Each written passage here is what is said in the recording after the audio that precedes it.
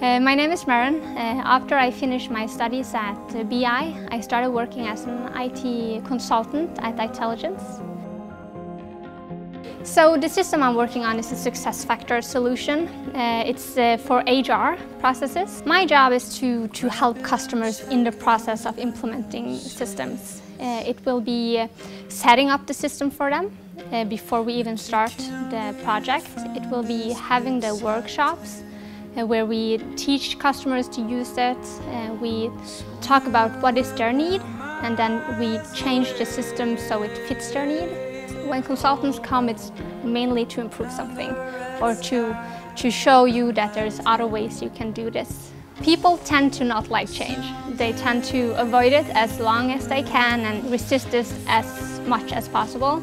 And then knowing the skills and what techniques you can use to actually make them see that this change is good, I use a lot.